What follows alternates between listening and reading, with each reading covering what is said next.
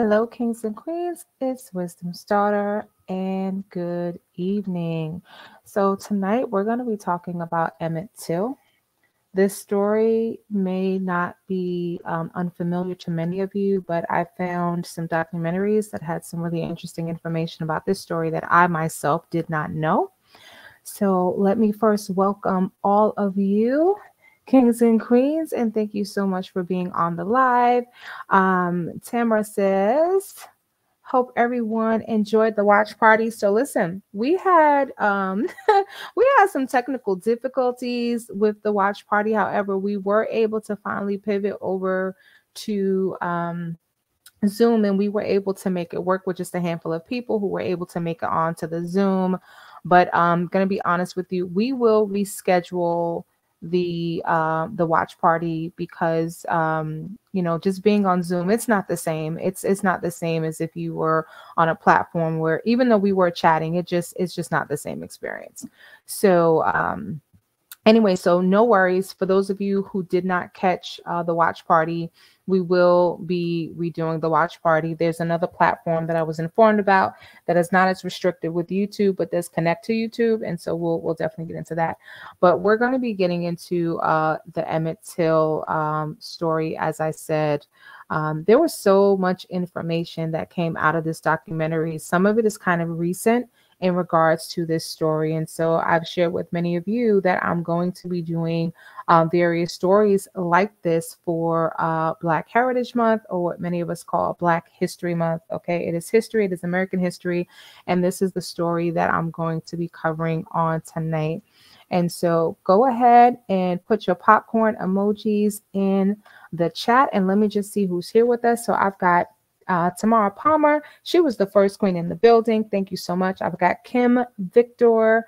I have Kind Smile Carter, and I've got November Rain. And then I've got some a few more people in the bushes. No worries. I do have um, subscriber chat on, and so if you do want to partake in the conversation, you will need to hit the subscribe button. There is no fee for you to subscribe to the channel. I've got DJ. DJ's got his popcorn. DJ is ready to go or her popcorn. I'm so sorry, DJ. Um, DJ's got her popcorn. She's ready to go. All right.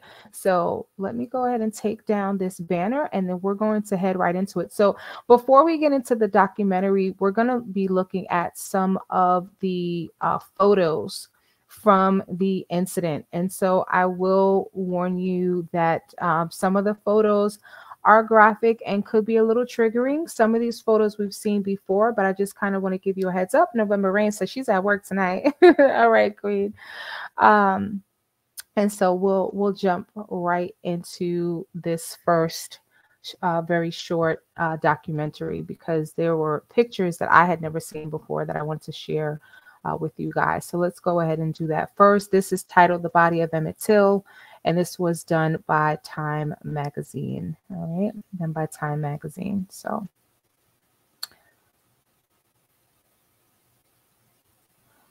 All right.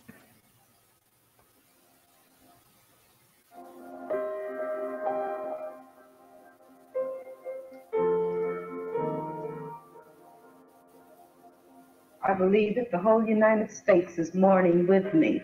And if the death of my son can mean something to the other unfortunate people all over the world, then for him to have died a hero would mean more to me than for him just to have died.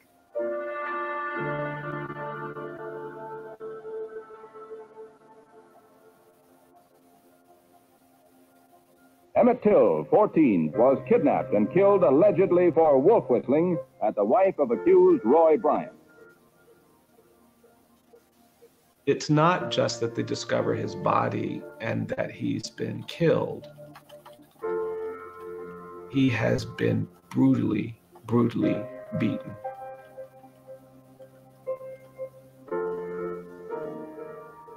As a criminal defense attorney, when we look at crimes, we often try to put together a picture about what happened. And it takes a lot of hatred and a lot of rage to do the kind of violence that was done to Emmett Till being a black boy in the American South could be quite perilous. The allegation that Emmett Till was being social with a white woman was considered an affront, a threat to the racial order. And I think the shock of his death was compounded by the brutality of his death.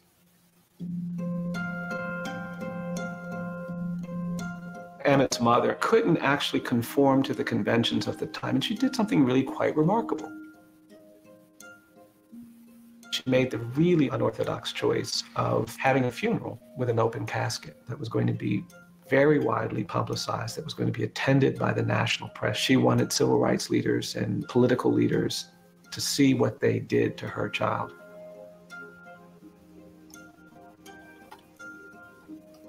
She invited David Jackson and Jet Magazine to take pictures of this child's battered body. And these images were widely circulated. Jet Magazine was a publication that was primarily produced and distributed to the African American community that had been trying to educate the rest of the country about the horrors of segregation and racial violence and lynching in the American South. And the images were really, really challenging. It was the kind of visual uh, that you didn't typically see. You certainly didn't see it outside of a war zone, and you certainly didn't see it with children. His face was grotesque. You could see eyes, but you couldn't really distinguish all of his facial features. That's how much violence he had been subjected to. Emmett's mother's presence in the photo is really important because she's really giving witness to victimization and violence the other images that Emmett's mother provided just created this notion of a very respectable young boy who was trying to make the very best impression on everyone he met. The juxtaposition of a little boy in a suit and a tie with his battered face was a stark image that made it really impossible for anyone who saw it to be silent about it mainstream publications like Look and Life began talking about this issue. It became an issue that elected officials were being questioned about. These images made it impossible for white families in other parts of the country to stay indifferent, to stay neutral.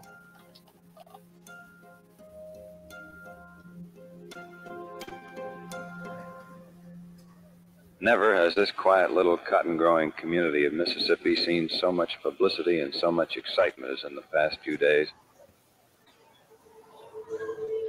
Nearly 200 of the town's five or 600 residents have packed into the courthouse to hear the day's proceedings. Do you have any evidence bearing on this case? I do know that this is my son. How long do you expect to be here? Until the trial is over. Bryant and his half brother, J.W. Milam, were acquitted by this jury. And subsequently, even though they admitted taking the boy from the house, they were freed of kidnap charges.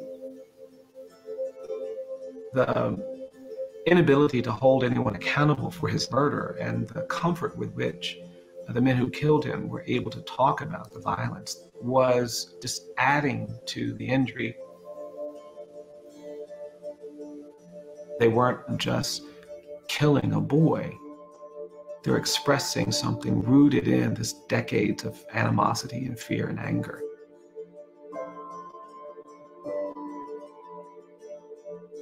A boy, a 14 year old boy, was killed brutally. And one of our objectives here is to see to it that that boy whose picture you see there does not die an inconspicuous death and that his case will be remembered and something will be done about it. These images became powerful forces in organizing a new level of commitment and resistance. The brutal murder of Emmett Till really pushed Rosa Parks to a deeper level of activism. That was one of the motivating forces behind her choice to not give up her seat on that bus. And in many ways, it was an organizing and galvanizing moment for the civil rights movement in this country. these shootings of unarmed black boys and men have been going on for decades. It is a manifestation of this same presumption of dangerousness that killed Emmett Till, that killed thousands of people of color during the lynching era. Imagery and photography is a really important tool. Without the imagery, there would be no one who's prepared to believe some of the violence that we've witnessed.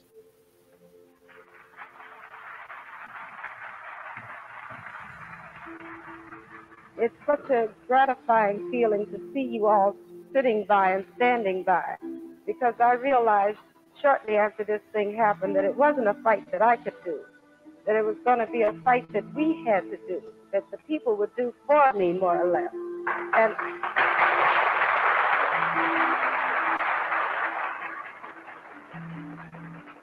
We've never made progress in this country around important social justice issues until we've given marginal victims a face. That image still has resonance, it still has power. And I think it still expresses the pain and anguish of a huge part of our population that is still hoping for basic recognition of their humanity. And I want y'all to stand by me because it's going to be a fight. And if you will stand by me, I will stand by you because I am not afraid.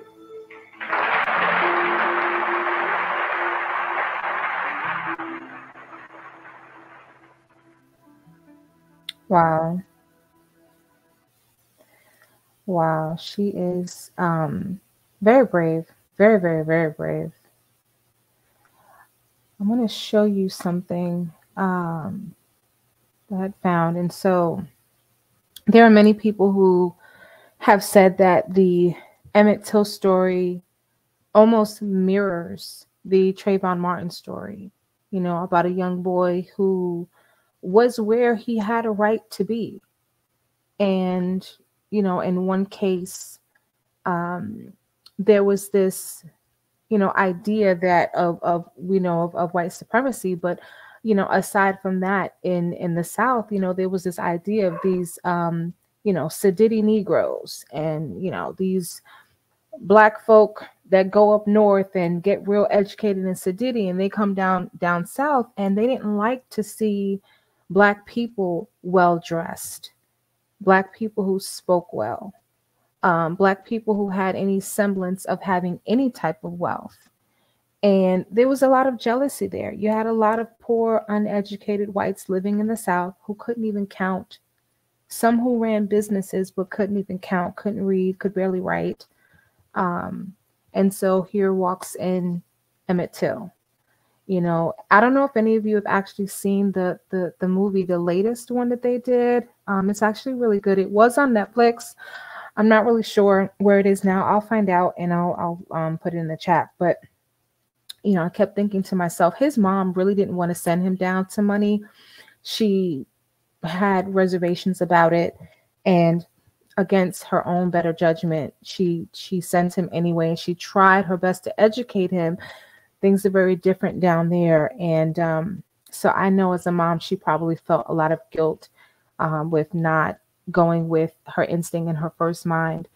And here you have a woman who, unfortunately, um, Carol, uh, is Carol? I was going to say Carol Burnett. That's not her name. Anyway, um, but the the white woman white woman in the store who goes home to tell her husband you know what happened in the store. And to this day we don't know exactly what happened in the store. It could be that emmett till looked her in the eye instead of looking at the floor. It could be that he said something you know that she deemed smart or sarcastic. Who knows?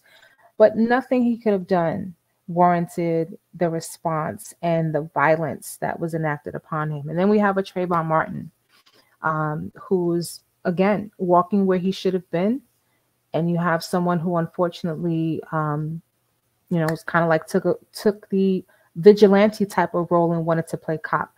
But anyway we're good we're to get into the um meat and potatoes of the documentary that i really wanted you to see. I just wanted to show you those pictures because um i had never seen those particular pictures. I had seen some and there's been a lot of documentaries but to actually see it and see the condition that his body was actually in makes it very real. So we're going to jump right on into our next uh, documentary. And this one is titled, let me just share my screen again. This one is titled The Lost Story of Emmett Till. And this particular documentary is interesting because it really talks through the journey that this case has taken over the last almost 70 years with this family trying to get justice. And so, very good documentary. Um, I may stop once or twice during the documentary uh, because this is content coming from NBC. I don't want you to flag it and take it down. And so, we may we may make one or two stops to talk. All right. Okay. And again, thank you guys for being on. Don't forget to like the video if you haven't already done so. And of course, I appreciate you guys.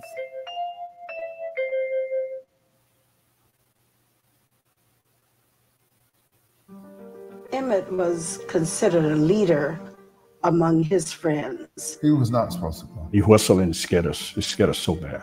This was the location where he heard the screams. I get near that barn and it had beaten us on that. And honestly, no one knows exactly where the body went into the water. Roy Bryant admitted that he had taken Emmett from his home. This is the original warrant. To have this space be brought back as close to the way it looked in 55 as possible. So he knew by testifying he could be killed for this. He handpicked the jury. We heard them announce the verdict not guilty. How long, oh God, will we have a double standard of justice? And they began to piece together some federal violation. There was a recommendation that she be indicted, a recommendation by the FBI. Today is a day that we'll never forget. I know that his life can't be returned, but I hope that his death will certainly start a movement in these United States. Emmett Till's death did start a movement. The lost story of Emmett Till, then and now.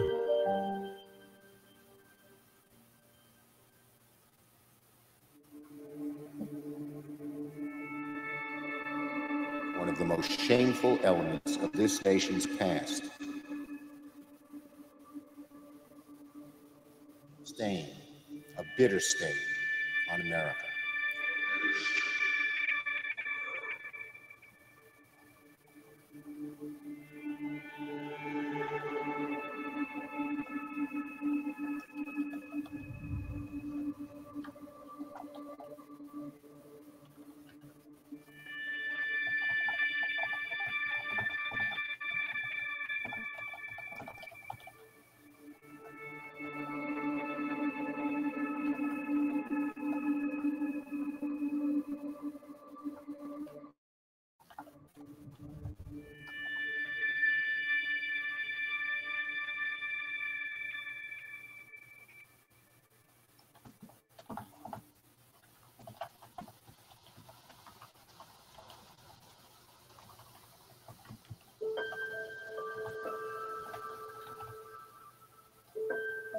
There's no sign to show you you're in Money, Mississippi. It's in LeFlore County. In 1955, it was a town of around 400. Fewer than that live here now. You could easily drive right by what is now the relic of Bryant's grocery and meat market.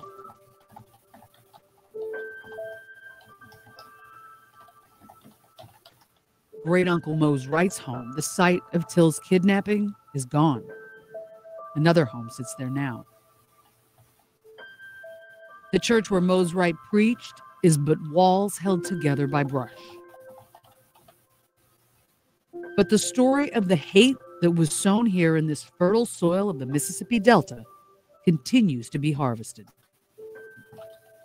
A legacy to all who have died under the oppression of slavery and Jim Crow and beyond. A legacy personified in the lynching of Emmett Till. Emmett was not just mine, he was a universal child. People were really able to see what had happened to a youngster simply because of hate and uh, race discrimination. I always felt bad because I, I came back.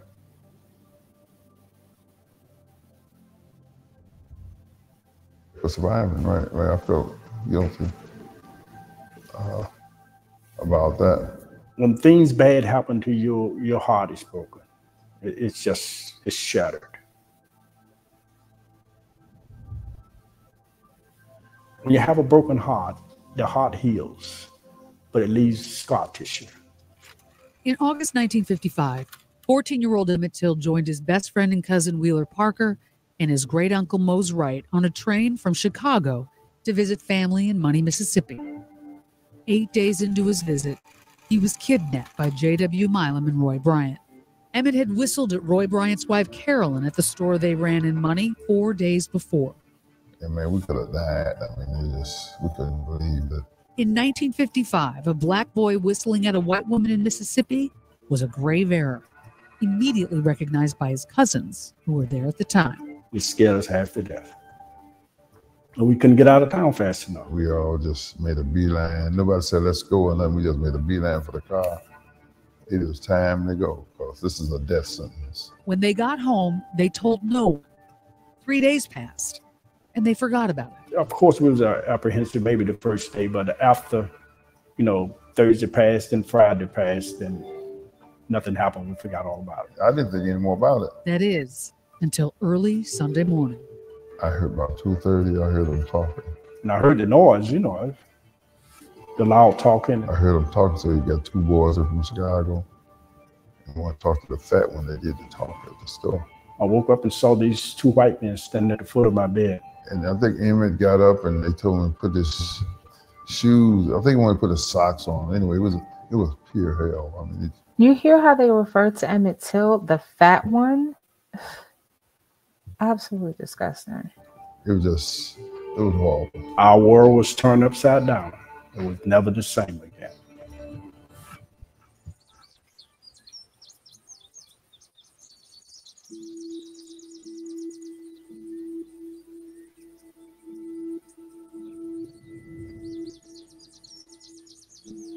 After kidnapping Emmett Till, it's believed J.W. Milam and Roy Bryant brought him here to this barn in Drew, Mississippi. Drew is about 30 miles from Money in Sunflower County. That day, an 18 year old named Willie Reed saw Emmett. The only first time I ever saw him was when he was on the back of that truck. In 2004, the FBI brought Willie Reed back to this barn. You know, this is the area when the FBI showed up. This is this. Dentist they Jeff Andrews bought the barn in 1992, and he still owns it today. The FBI brought him here, and um, he said this was the location where he saw, where he heard the screams. He didn't see. You see three black people on the truck.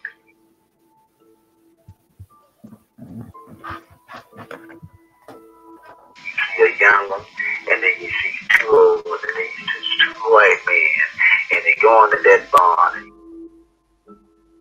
I saw him motion and, and say, "I was walking down this road right here," and he pointed at the driveway. When I get near that barn, and hear that beating that phone out there, I know it You know, if he heard that and he was this close, I'm sure he probably didn't stick around too long. So, uh, you know, because that's you see how close proximity that is. But you know, this was the area here, and, and that that uh,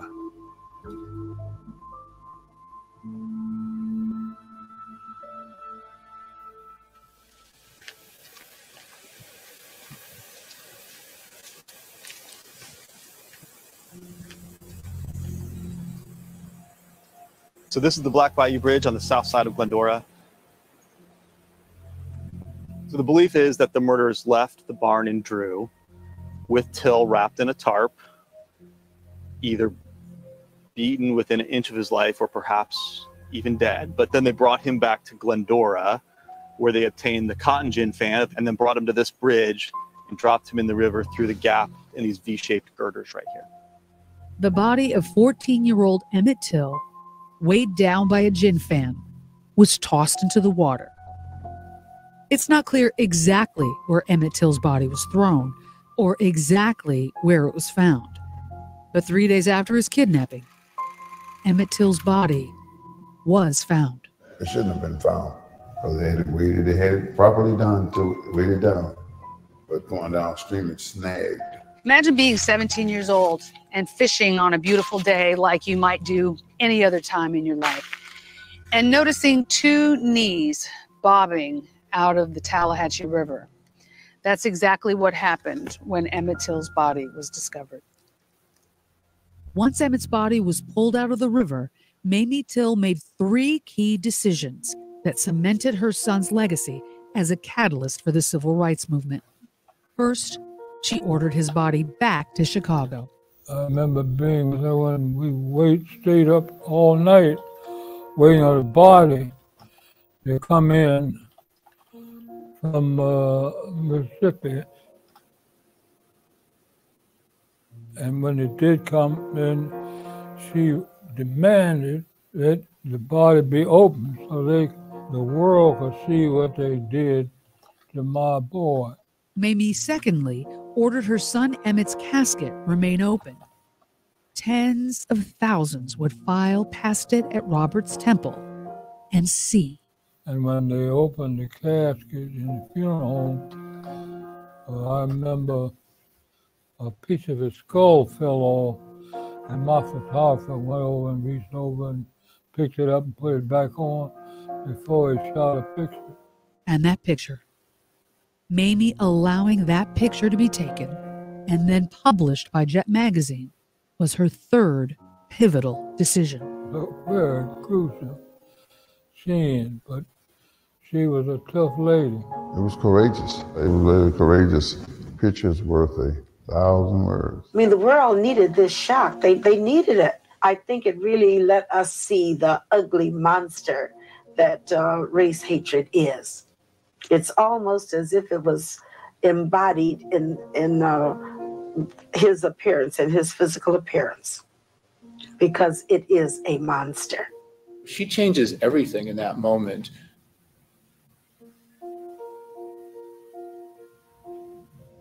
She wants the world to see what they've done to my son.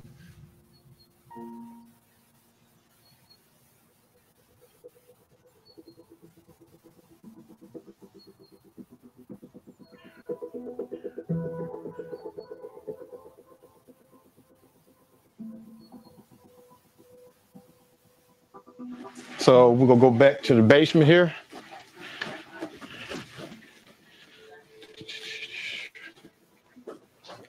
And this is the area where they found the warrant at. In early 2022, a filmmaker found the kidnapping warrant for the arrest of J.W. Milam and Roy Bryant in these files at the LeFlore County Courthouse. Also named on the warrant, Roy Bryant's wife, Carolyn, though she was never arrested. When the FBI investigated in 2004, they asked court officials and law enforcement to look for any documents with information related to the case. The warrant never came up. But current LeFlore County clerk, Elmus Stockstill, has longtime experience in the clerk's office and with its files. He had an idea where to look. He could also verify its authenticity. From my experience as second clerk, and I knew these was original, original papers. And you see how old and brittle they are. So I knew from fact that they was ori- original papers. Then I looked at the uh, cause number up here, all these case numbers and everything. All this lined up with previous cases that I've seen from that particular time frame. So I knew that that was authentic. authentic so After Emmett was kidnapped, Mose Wright searched for Emmett himself. He also went to see LeFlore County Sheriff George Smith, who then went to see Roy Bryant. Roy Bryant admitted that he had taken Emmett from his home and let him loose. Taking him from his home was enough to uh, establish kidnapping, and he was arrested. That was around 2 o'clock on Sunday, August 28th, according to the 2004 FBI report. The next day, according to that same report, J.W. Milam came by the LeFlore County Jail and also admitted to taking Till. It's not used as a jail today, but it was in 1955, and it's where Milam and Bryant waited until their trial in Tallahatchie County. They were here when Emmett Till's body was found, and they were then charged with Emmett Till's murder.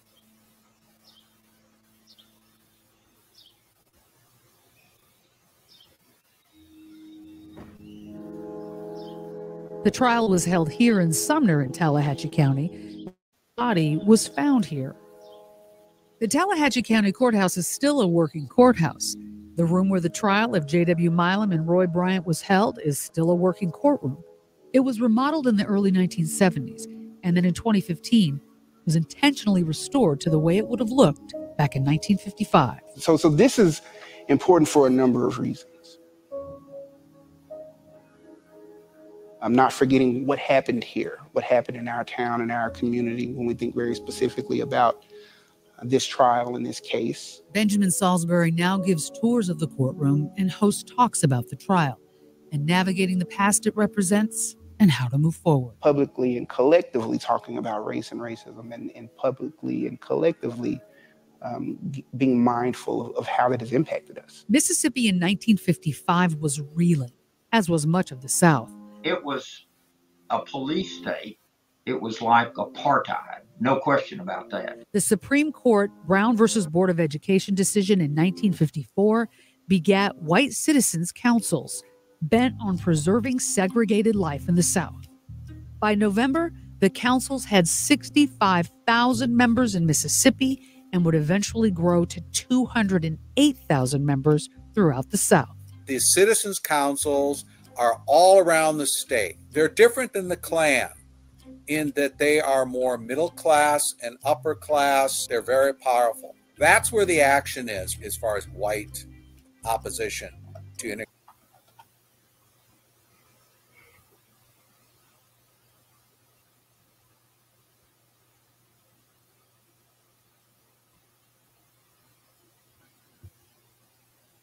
Integration. They were generally referred to as the Ku Klux Klan in coats and ties. This is Dr. Stephen Whitaker, a Tallahatchie County native. He wrote the first extensive review of the Emmett Till case for his master's thesis in 1963. In it, he points out the primary concern segregationists had with integration was that black men would become romantically involved with white women. In his opening chapter, Sex and Segregation, Whitaker cites Gunnar Myrdal's An American Dilemma. Sex becomes the principle around which the whole structure of segregation of the Negro is organized. The Southern man on the street responds to any plea for social equality with, Would you like to have your daughter marry a Negro?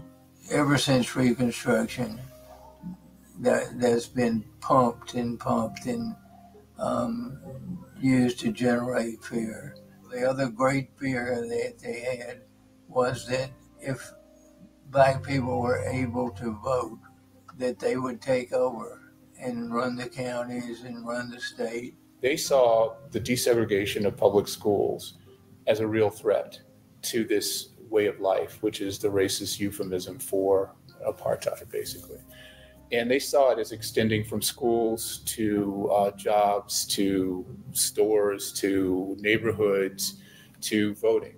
When Emmett Till ventured to Mississippi, only 4% of eligible black voters were registered, and not a single black person was registered to vote in Tallahatchie County, despite 56% of the county being blacks of voting age. So the tension stirred by the 1954 Brown versus Board of Education decision by the Supreme Court only began to boil by 1955 when the Supreme Court issued its implementation decision, or Brown versus Board of Education 2, which ordered integration with all deliberate speed. Also in 1955, two African Americans were lynched for trying to register black people to vote George Lee and Lamar Smith. Smith was shot to death on the courthouse.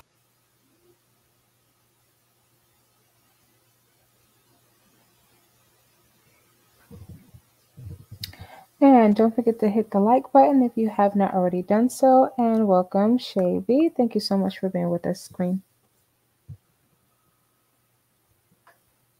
You know, I'm doing this because there the grounds in Brookhaven seven days before Emmett boarded his train in Chicago, bound for Mississippi. White folks in the South. schools are not really teaching um, Black history too much anymore. I think there's this general idea of we just want to forget. We don't want to um, acknowledge those things because they're they're painful, and and we get that. So um, again, some of this stuff, you know, you you guys can can watch and determine what you would like to share with your children. But for certain, I have a 13, 14 year old, and I'm going to make sure that I take the time and share this with him because these children they don't know. And if they don't know where they came from, they could easily end up back into some of those situations, you know. Um, um, what's the word that I'm looking for?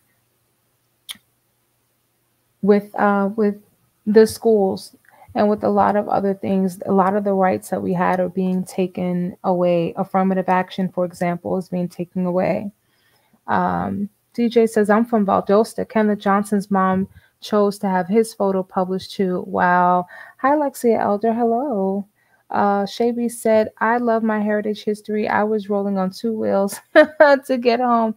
And um, what we did in the beginning, Shay, so once you finish, you know, you can, or if you choose to do it now, you can up to you, you can roll it back. But we started out with a document, a, a short, less than 10 minute documentary by Time Magazine titled 100 Photos of Emmett Till and if you've ever wanted to see what Emmett Till really looked like, because when you Google Emmett Till, the pictures are very grainy. But if you really want to see what this boy looked like, you know, and I say boy, but he was, you know, he was a teenager. He was about, you know, around my son's age.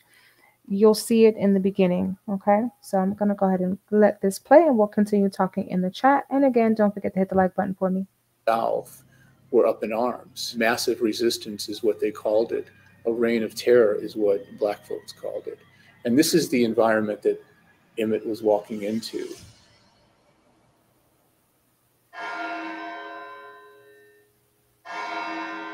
It began September 19, 1955. Every defense attorney in town volunteered to represent Milam and Bryant. According to press reports, the defense fund raised $10,000 and an all white jury was seated. For his 1963 thesis, Whitaker interviewed them all. Everyone treated me well. Everyone was very open about it. All the lawyers, both sides, the judge, all the jurors, all gave me interviews. And what Whitaker learned about the jury pool is eye opening. The man in charge of picking the list of jurors was the county attorney. The county attorney at the time was John Whitten one of Milam and Bryant's defense attorneys. He handpicked the jury.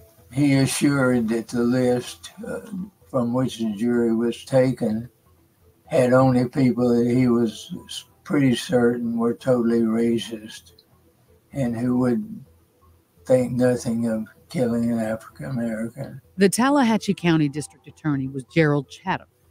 He requested help from the state to take on this case. Attorney and former FBI agent Robert Smith III was appointed as special prosecutor. I'm very proud of my, that my father took that stand. Nobody had ever really prosecuted a white person in Mississippi for killing a black person. And Smith and Chatham had many challenges. The handpicked jury pool they may not have known about, but they would have known they were not getting help from their own investigator, Tallahatchie Sheriff H.C. Strider. Strider was a staunch segregationist. We never have any trouble until some of our southern niggers go up north and the NAACP talks to them and they come back home. Sheriff Strider was also running things in the courtroom, and he demanded segregation even among the press. The sheriff, H.C. Strider, declared at the beginning of the trial that there would be no mixing, no race mixing, as he called it. So the white journalists were not supposed to interact with the black journalists. But what Strider didn't know was that not only were white journalists interacting with black journalists, they were all working together to further the investigation of the case, along with the NAACP and the sheriff of LeFlore County, George Smith. It all began with a tip to Dr. T.R.M. Howard. This guy named Frank Young he had information that people had witnessed, African Americans had witnessed, Till being brought into equipment shed in a farm. Dr. Howard was a well established doctor and civil rights activist based in the all black town of Mound Bayou, Mississippi. And this is the day before the trial. So the trial was scheduled to occur on Monday. This occurred on Sunday. He gets uh, NAAC people together like Medgar Evers, Amzie Moore, ultimately goes to black reporters and he says, Look, we have evidence here that this had occurred. We got to go find these witnesses. Simeon Booker and Moses Newson were among those reporters. Our driver was Medgar Evers, um, who drove us to all those back back yard plantations and plains where we were trying to find witnesses back there. We changed clothes and went out wearing something, something like plantation workers would uh, used to be wearing. We did round up a couple of people who uh, did actually testify in the case. And that's how people like Willie Reed were discovered and, and brought into trial. In the field, they come across the field where they done that. Willie Reed was just 18 years old. Then nobody sprayed me to each other. But I mean, I just did the thing because I had to tell the truth because I, that wasn't true. Willie Reed, Mamie Till, and some members of the black press also stayed at Dr. T.R.M. Howard's compound in Mound Bayou.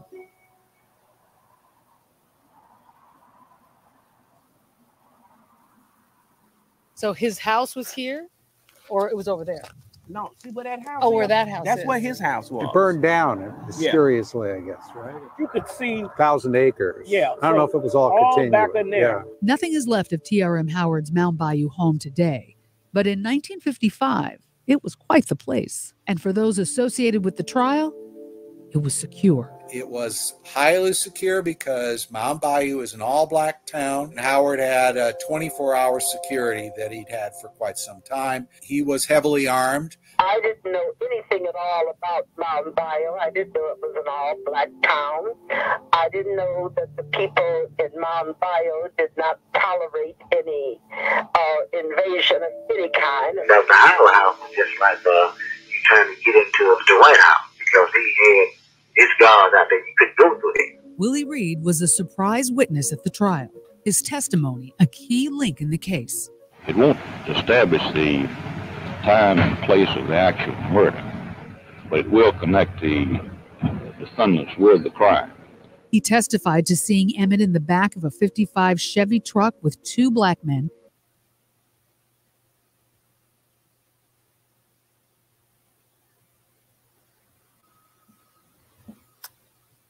Well, then the truck passed by. I seen four white men in the cab and three colored men in the back, and I seen somebody sitting down in the truck back there, which was likely Emmett Till. including one he knew, Levi Too Tight Collins. I saw that truck when it went down the past me, and I saw that young boy, and I saw two Jacobs in on that car. Reed testified he saw four white men in the cab of the truck and then to hearing a beating at the barn in Drew and seeing J.W. Milam with a gun.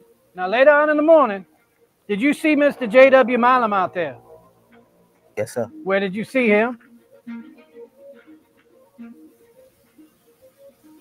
When I passed by, he came out to the well.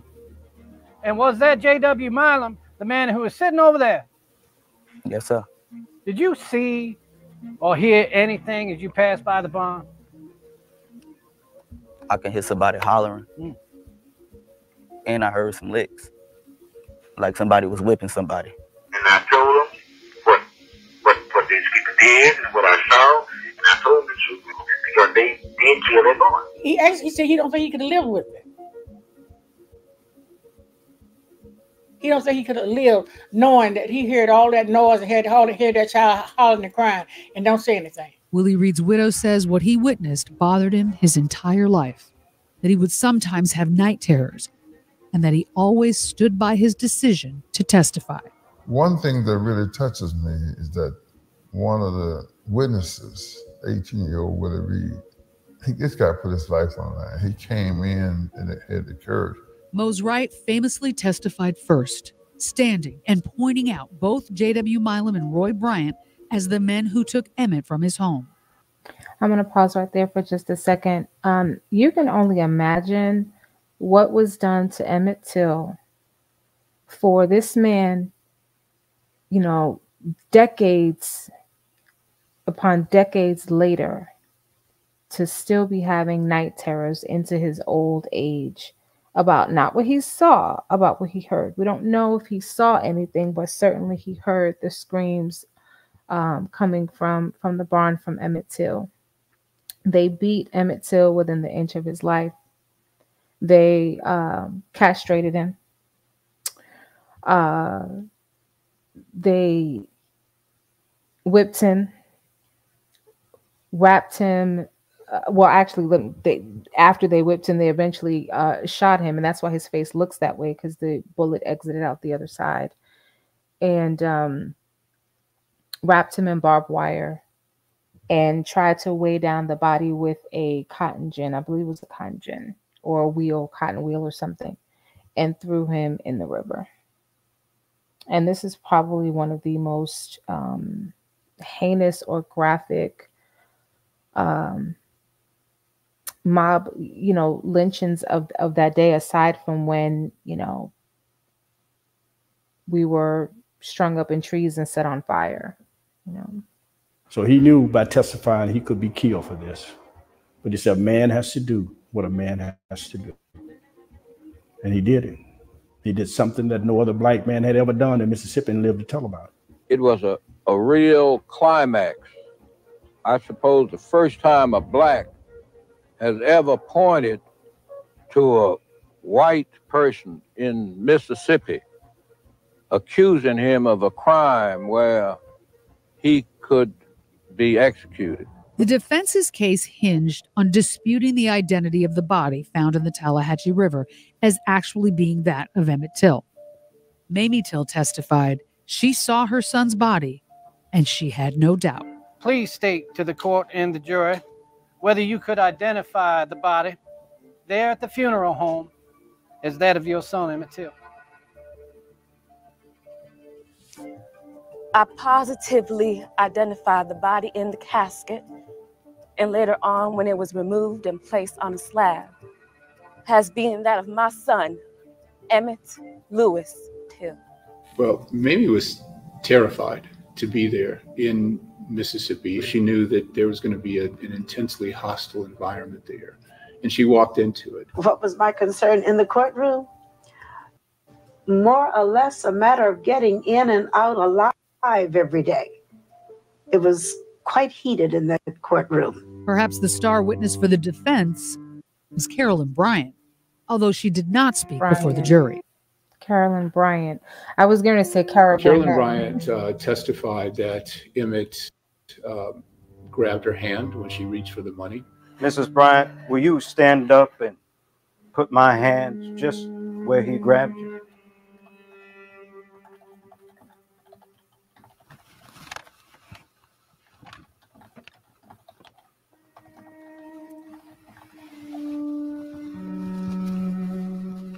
It was like this. In other words, he had his left arm on your back and his right arm on your hip. Yes. Now I'm trying to figure out if he had one hand on her shoulder and one hand on her hip. She was behind the counter. No, he was buying candy or something that he wanted in the store. So I'm trying to figure out how he was able to do all that while she was behind the counter. Because if she was so afraid for her life, I really don't understand what would have made her come from behind that counter for him to do all that. But anyway. Did he say anything to you then at the time he grabbed you there by the cash register? He said, What's the matter, baby? Can't you take it? The trial transcript was lost for almost 50 years. That child The FBI found it during its investigation in 2004.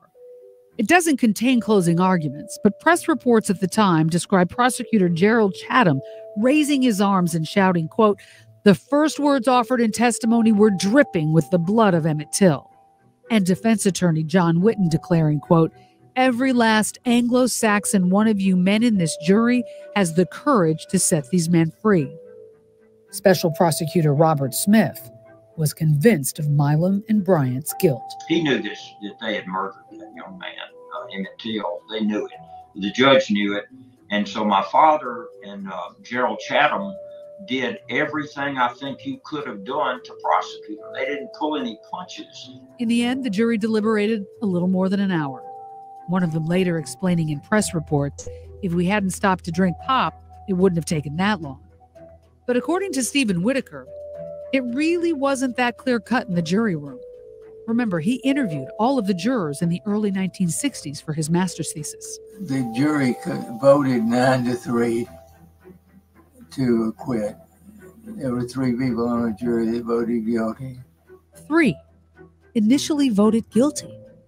Whitaker didn't include that fact in his thesis, and had been assumed the jury was unanimous right away, particularly since they bragged about their pot break delay. In fact, this is the first report of the jury having any real doubt. And they voted on the second time, and they voted 11 to 1. And finally, the third vote was 12 to 0. Whitaker identified the last holdout as Bishop Matthews of Charleston. And in his thesis, he expanded on the jurors, saying not a single one doubted that Milam and Bryant had killed Emmett Till. You see how they lie? Now, I had never heard that before. That there were um, that they actually had to go back to the table more than once to get everybody on board with um, a a not guilty. That they had three who thought were guilty, and that's a lot for a jury. That's a lot. The three told me later on that they felt very bad about what they had done.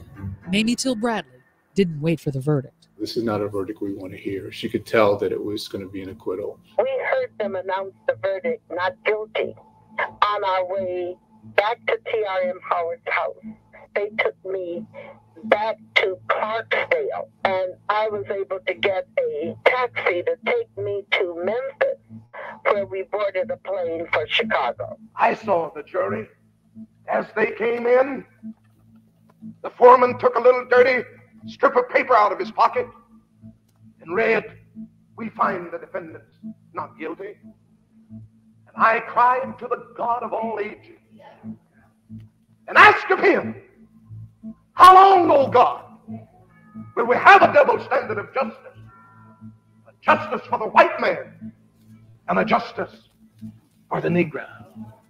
Less than two months after J.W. Milam and Roy Bryant's acquittal, a LeFlore County grand jury heard the case of kidnapping against Milam and Bryant.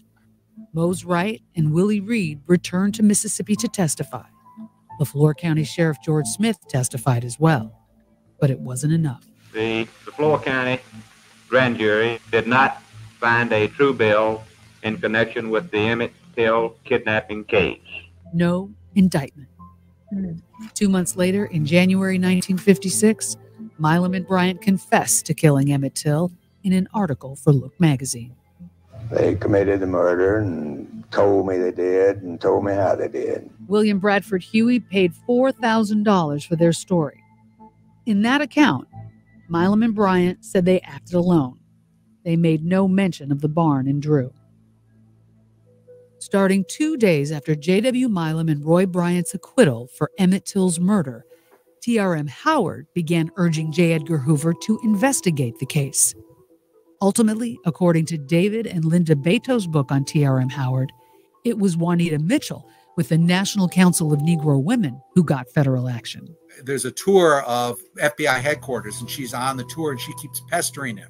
She asked Hoover directly about the additional men Willie Reed had mentioned on the truck with Emmett Till the night he was killed. He writes to uh, one of his assistants in the FBI and says, Well, look into this. That led to a slight review, including looking into a rumor that Levi Too Tight Collins and another man were hidden away to keep them from testifying. Two of the witnesses were being held in protective custody in Sheriff Strider's jail in Charleston. According to the 2004 FBI report, prosecutor Robert Smith did search for Collins and the other man at the Charleston jail at the time of the trial.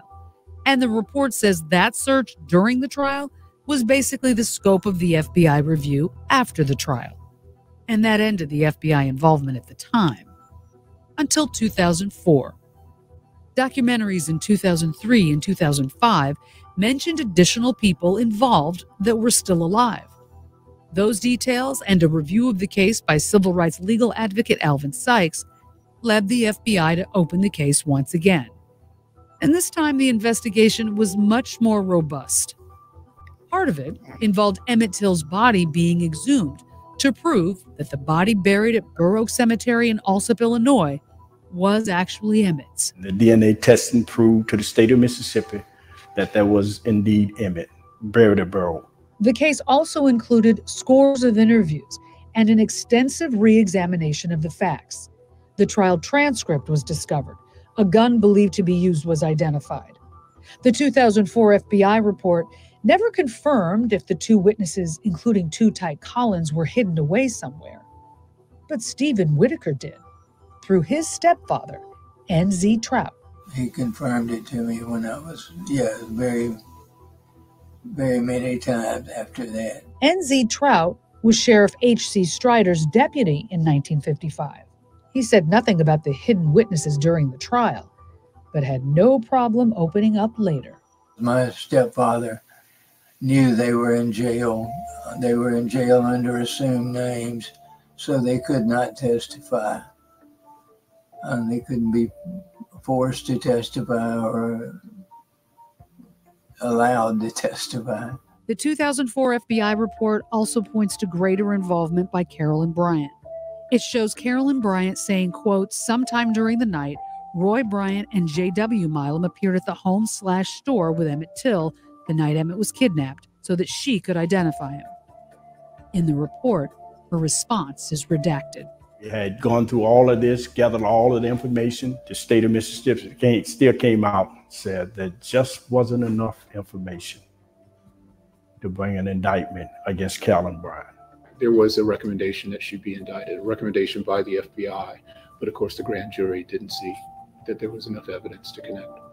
FBI investigators felt the evidence was strong. The FBI investigated uh, between 2004 and 2006, turned over a massive file uh, to the district attorney in Mississippi. Massive, meaning like 8,000 pages of documents that, that had been put together. In 2007, Joyce Chiles, the district attorney for the Mississippi Delta, sought a charge of manslaughter against Carolyn Bryant in the death of Emmett Till. But a LeFlore County grand jury refused to indict. In 2017, the FBI reviewed the case again, this time after an account of a confession by Carolyn Bryant in a book by Timothy Tyson called The Blood of Emmett Till. According to the FBI, Bryant denied making a confession. Despite the fact that Timothy Tyson published what he purported was her confession, in the end, the FBI found no evidence, no credible evidence, as they put in their report, to support what was published in Timothy Tyson's book. The federal investigation into the lynching of Emmett Till was officially over. Today is a day that we'll never forget. Officially, the Emmett Till case has been closed after 66 years. This is a family that's waited 66 years to learn who would answer for Emmett. And now we know nobody. But Emmett Till's story continues to resonate. In 2022, journalists from the Daily Mail found Carolyn Bryant living in Kentucky with her son. They reported she suffers from cancer and is in hospice care. Earlier that same year, someone leaked an unpublished memoir by Carolyn Bryant. Written in 2008, it's called I Am More Than a Wolf Whistle. In it, Bryant stands by her story and declares, quote, I always felt like a victim as well as Emmett. He paid dearly with the loss of his life. I paid dearly with an altered life. Did she tell the truth about what happened at the store? In the manuscript, she not only stands by that story, but she expands on it in ways that to me suggest that there is no remorse. You can't don't have any animosity, ill will, or hate. You can't have that. That's the one thing we don't have toward her, you know. The warrant discovered by the filmmaker in the LeFlore County Courthouse that same year was never executed in 1955 and could not be executed in 2022. And while there's no statute of limitations for kidnapping under Mississippi law today, there was a two year statute of limitations at the time the warrant was issued. After more than 200 failed attempts to outlaw lynching, Congress is finally succeeding in taking the long overdue action by passing the Emmett Till Anti Lynching Act. Chicago Congressman Bobby Rush sponsored the legislation. I could not have named it and after a more deserving uh, example of what lynching, the horrors of lynching. The Senate has now finally addressed one of the most shameful elements of this nation's past by making lynching a federal crime. That it took so long is a stain, a bitter stain on America. For uh, the president might sign the uh, Emmett Till anti-lynching act into uh, law uh, means that, you know, America has made a statement. There is something that has emerged that we can uh, take some solace in, and that is that uh, the name Emmett Till is going to live on in the context of justice. Every time somebody is brought to uh, justice in the case of a lynching as it's defined in the law, the name Emmett Till will be spoken again. And ultimately, Emmett Till's story will be kept alive, his life remembered, a legacy. The verdict was unjust, but because of that verdict, Emmett Till's memory and legacy is still alive. So you need to get the truth out there. That's why I try to. So Wow. That's a lot. Um so much in a very short documentary. Um the fact that there was a confession strategically given after uh there was a uh, non-guilty verdict, a published confession uh, from the accusers. We don't know if the confession by Carolyn uh, Bryant Donham is credible or not. I believe it to be credible. My first question is why? Why did she lie?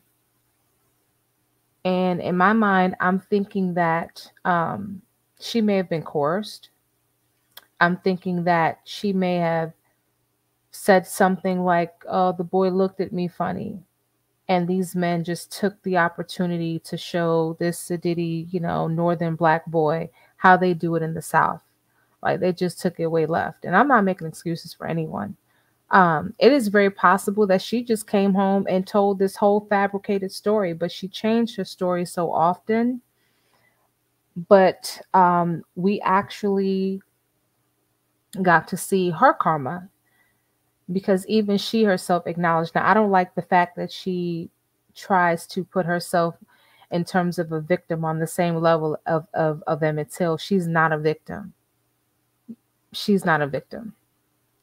Uh you know whatever she said and and even if she was coerced into saying that her lie her untruth this is why i hate lying i hate lies I go in on a certain someone a lot because she lies a lot. And those lies, this is what they do.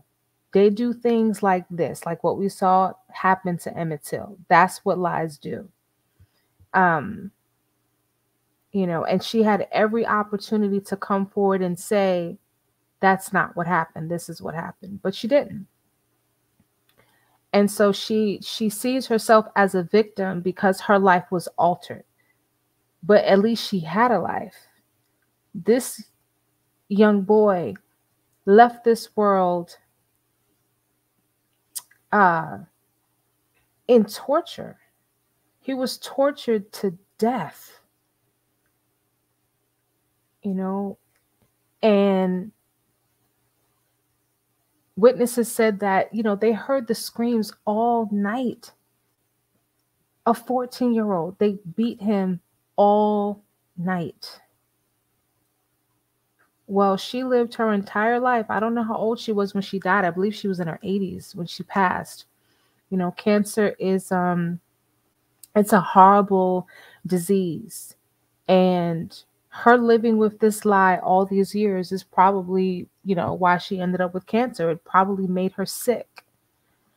Um it just seemed like there were so many opportunities in this case for things to be done right. Now, I am not going to turn this into a political discussion, but did you see, and I'm going to roll it back uh, just a minute, did you see uh, what Biden did? Okay. He signed the Emmett Till um, anti lynching law into uh, I mean, the Emmett Till Anti Lynching Act into law. I'm not saying that to persuade you one way or another. We are up on an election year, but let me say this. A lot of times we don't hear about what um, our president is doing because of the foolishness and the shenanigans going on in a certain party. You know the the the cases and the shenanigans and the foolishness regarding you know Trump. No one person can do everything but there are small things that have been done that don't always get acknowledged. Now again this is not a political discussion. Um I'm not going to reveal my political party or even have that discussion, but I'm just I'm thinking about some of the things that I've heard. Oh, Biden hasn't done anything for us. Well, it's it started with the loan forgiveness. And I'm proud to say that I had $170,000 worth of student loan debt forgiven. Okay, because of a program started by former President Barack Obama. And that program was finished by uh, President Biden, and they attempted to stop him at every hand. And still, there are millions of people out there due to have their loans discharged, but that program is on hold because, of course, you know, um, the Republican Party doesn't want it. Any opportunity for Black people to uh, get ahead, to move up, if they can keep us in student loan debt, then they can keep our credit bad. And if they keep our credit bad, then we can't qualify for home loans or car loans or get any of those things. So, anyway, um, but this this documentary was quite um, quite eye opening. Uh, there were so many people that knew the truth, and unfortunately, they were able to get away with it. So I just want to say thank you guys so much for being on the live with me. This is a really difficult topic. it's not an easy one to hear, regardless of what race you are. It's really sad. And the truth of the matter is, um, you know, there are people out there who want us to return to what you just saw. Okay, want us to return to a segregated world, want us to return to a world where, you know, one race reigns supreme. All right. And puts their foot on the neck of other people.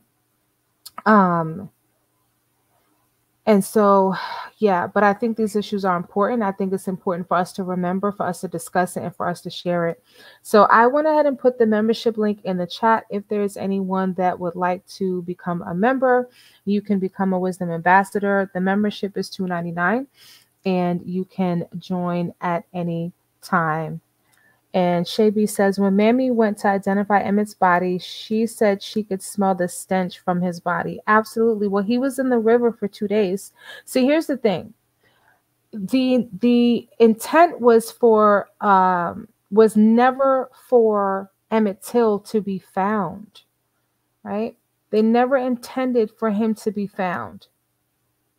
But it just so happens that in this this river uh, for whatever reason and you can call it you know an act of god his his body didn't sink it got snagged and so it floated back up to the top. Their plan was to make emmett till completely disappear. They had no intentions of you know there being a Mamie who would fight for her child this way you know but her courage changed history it really, really, really did. And you guys saw the church and how many people were gathered in that church to to to, to you know to, to see him. I don't know if I could have done it. I don't know if I could have done it. Yeah, that that type of smell is very hard to forget. And the fact that he was in water makes it even worse. You heard the um, photographer said that when they went to the coroner or to the morgue, uh, that the top part of his skull literally fell off. His body, you know, and it was the summer. And in the summer, in that kind of heat, your body decomposes a lot faster. So, you know, just a really, really sad story. But again, just a reminder of how important it is for us to, number one, vote, because it was said earlier, definitely make sure that we vote, not just in the primaries, but also in the local election. And that when we hear things like Make America Great Again, well, you know what? America's history is not that great. It's rooted in things like this. It's rooted in racism. It's rooted in um, prejudice. It's rooted in this idea of of you know, being superior to another race. It's not rooted in humanity, it's not rooted in love, it's rooted in taking, stealing, lying, okay, killing. That's what it's rooted in. That's our history. Blood, sweat, and tears on the backs of, of Negro people.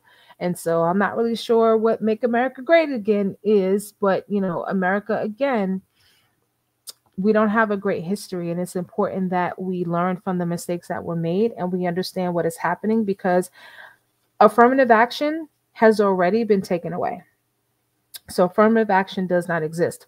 I'm going to be i'm not going to be i'm working on a story. I don't believe i'm going to do it live. I think i'm just going to do a video about a um, historically black college that is now predominantly white. And the story is actually not about the fact that this HBCU is predominantly white. The story is about the the um, suicide of a uh, black staff member at that college. That's what the story is about. But it got my attention because I, I went to a historically black college and I don't understand how um, a historically black college ends up being predominantly white. So I was very interested in that story to see what what happened there. Uh, but anyway, but guys, thank you so very much for spending this uh, l- a little over an hour with me. Look out for the additional videos, and I will see you on the next one. Bye, y'all.